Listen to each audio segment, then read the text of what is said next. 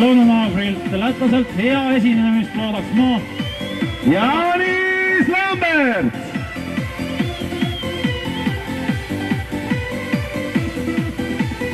ja eriti rahulikult alustab vähemalt seda, aga mis rahulikult. ja tuleb siit teine väga hea poognaga.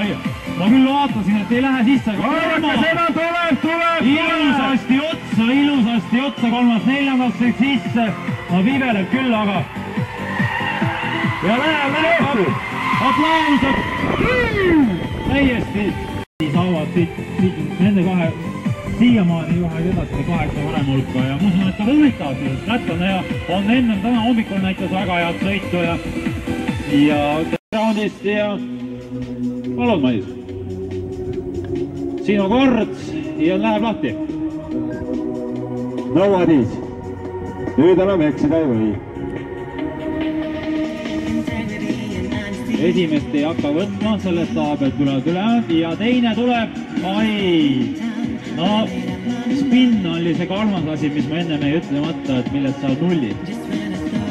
ongi põhimõtteliselt vist, ei veel ei ole, eks see näha ole. aga ega midagi, lase nüüd edasi, ega siin veel kolmas tuleb siukse hea pikaga, hea pikaga, natuke muru.